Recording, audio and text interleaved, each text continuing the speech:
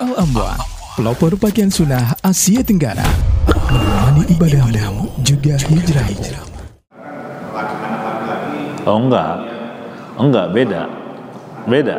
Kalau laki-laki dua kali lipat dari perempuan enggak, hibah ya enggak harus yang penting sama-sama dikasih, iya, sama-sama diberikan.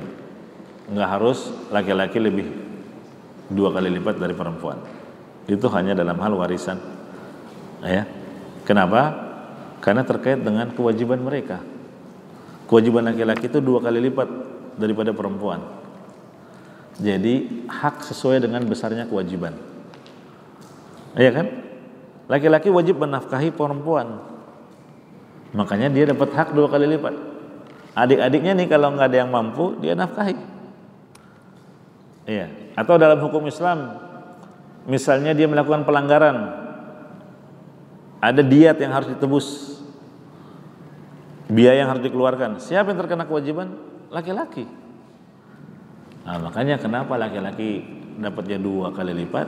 Karena kewajibannya juga dua kali lipat.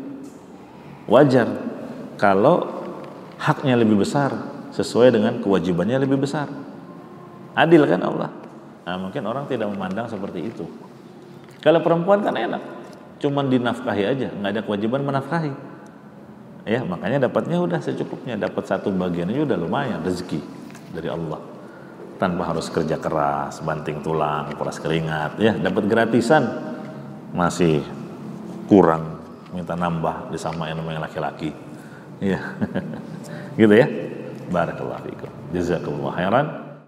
Hadza siratum mustaqim.